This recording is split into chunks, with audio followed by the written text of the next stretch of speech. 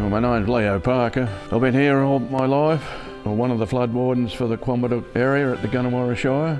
And my first experience was through my farm because a third of my farm is flood prone and every second year we get a flood. Some years we have up to six or seven floods a year but we haven't got a reservoir up the top like most rivers have.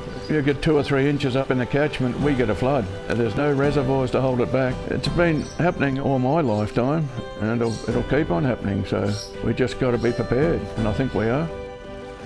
If we get an eight metre flood at Charlton, we'll get about a, a two and a half metre flood at Quambatook. It just reduces as it comes.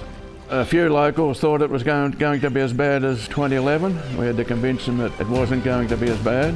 Even if it was another 2011, the Shire have constructed a levee on the west side of the river that'll protect the town in future, so we don't have to worry in Quambatook anymore. Well, on the west side of the river, we're prepared to lose crop in the floodways because that's the risk we take.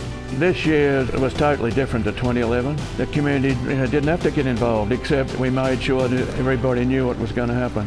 They used to come down and check the river to make sure we knew what we're talking about. There is monitors all the way along the river. There's one at Charlton and there's one out 10 kilometres south of Quambatook that people can go on the internet and they can see the actual river height, whether it's rising or dropping. And the Shire support us, were ringing us up to see how, how, we're going, but I kept telling them that we were, we were safe and they had enough to concentrate on in Kerang.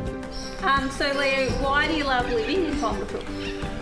Well, people ask me. People ask me that. Why do I farm? Probably because I don't know any better. No, it's a community spirit. It's, if a farmer gets injured, well, there's always somebody prepared to help you out, make sure you, you get your crop sown or your crop harvested. So, fantastic little community, even though it's slowly, slowly disappearing. But no, it's just a, a lovely place to live, and why wouldn't you want to live here? Well, how I was feeling about the other towns, well, there's people out at I really feel for because some people still got a boat into their houses. They've got a levee around the house and it's saved the house, but all their paddocks are covered with water still.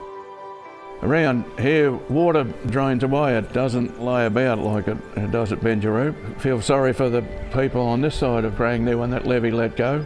That's the last thing I'd want is uh, water in my house. It'd be, be terrible.